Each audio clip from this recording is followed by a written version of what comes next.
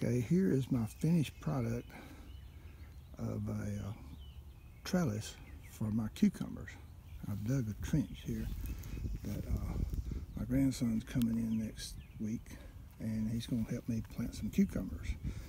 Uh, so I've never had a trellis before for cucumbers. I just let them lay on the ground and they, most of them would get worms or just didn't grow very well. I got a few good ones, but not really that many. Uh, and I planted a lot of them.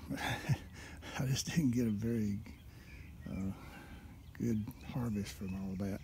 Anyway, I wanted to uh, do a trellis this year. I saw some designs on the internet on YouTube, and I thought, well, maybe I can do that. they gave me some real good ideas. So basically, um, I took a I think it's like a nine foot two by four. Uh, it's a little over nine feet. I, I, think I cut it off to nine feet so I could make these things four and a half feet, uh, the, the support beams or whatever. Uh, and what I did is this top piece and bottom piece, uh, I took the two by four and cut a one inch off of each side. So that left what about an inch and a half for these support beams. Uh, and I actually had to use a, another nine foot two by four and do the same thing. Um, of course, I've got, I cut two one inch pieces for the top and bottom. They're just stored in my garage now. I don't need those, but uh, I needed those two extra support beams. I could have got all of this. If I just wanted half of this, I could have got it out of one two by four, and I could have just had two of those support beams. You can get two of those out of that. Um, and uh, it only took me about, I guess, three hours. And I, I take a lot of breaks. As I get older, I take more breaks.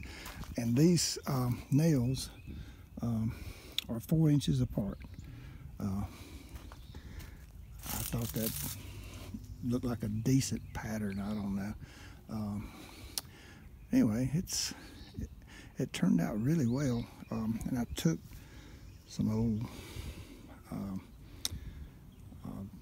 pieces of redwood or whatever. They're just thin pieces of redwood. That's, it's just junk redwood laying in the garage. Um, and I cut those things and screwed them onto the bottom so that the, the whole trellis does not hit the ground so maybe it won't rot so fast. And those things are screwed in. I can just replace those next year. Uh, and every connection is screwed together. Uh, and I put some uh, when I cut the ends of the 2x4 off they were slanted or whatever. So I just saved those things and, and uh, screwed them in to support the four corners uh, which I think I don't even know if I needed that, but I was going to throw them away, and I said, well, instead of throwing them away, I'll just put them in the corners.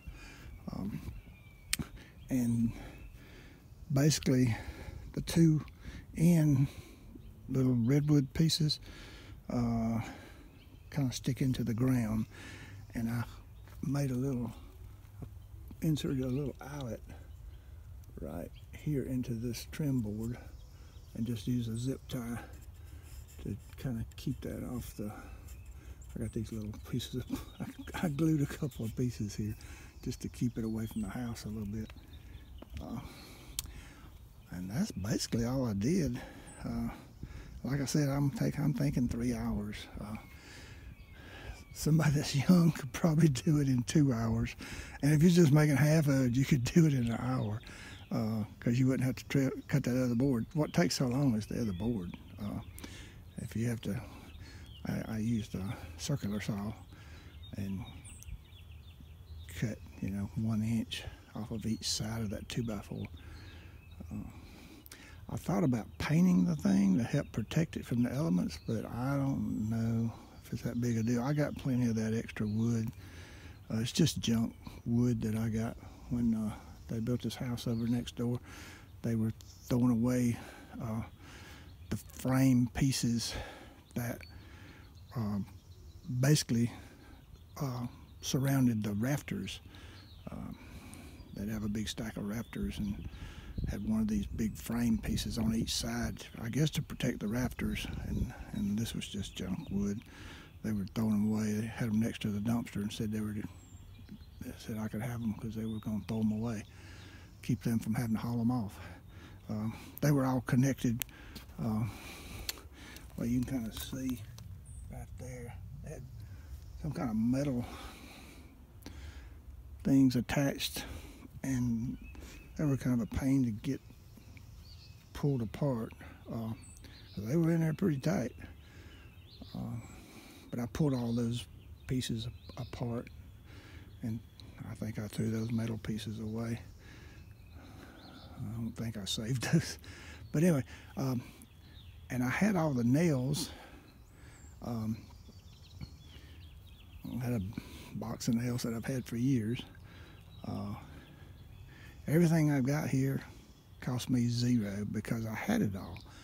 I had the string, uh, found that laying in a box in my garage. I didn't even know I had that. I just happened to walk by it and saw it. I said, oh, I can use that string. I don't have to go to the store and buy any.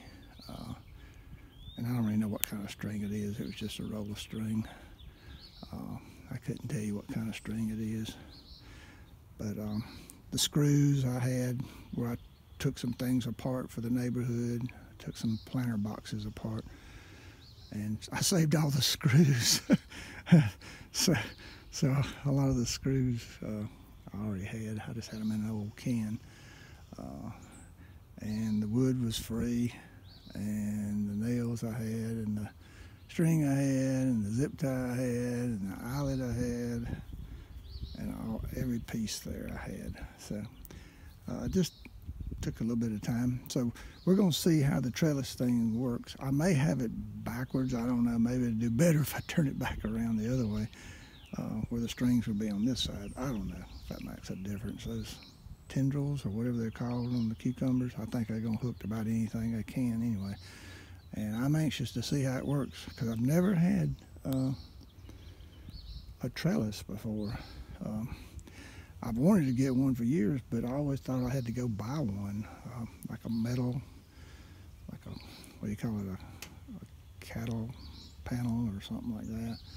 Uh, I thought I don't want to, I don't want to go do all that.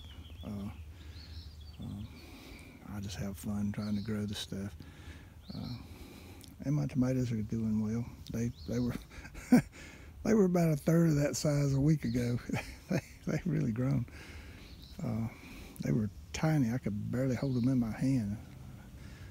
Shoot, those things were four dollars a piece. I couldn't afford ones that were just a little bigger than that. They were like sixteen dollars. I was like, oh, I don't, I don't want to put that money, in, much money into tomatoes. Anyway, well, that's my finished product, and um, it turned out as well as I'd hoped. So uh, I hope those strings hold up. I don't know I didn't crisscross those things, you know. I didn't interweave them or anything like that. They're they're they're they're separate, you know. Uh, they're not they're not crossed in there. Uh, I think they would have been more stable if I had crossed them. Just an idea. If you're going to do this, maybe that's something you might want to consider.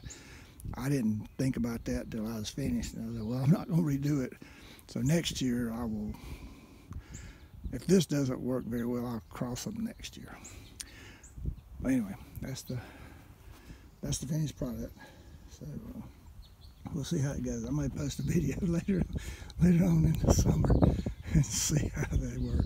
I'm hoping, you know, when the cucumbers crawl up here, um, the uh, bees and everything can pollinate the flowers. They can get to everything a lot easier and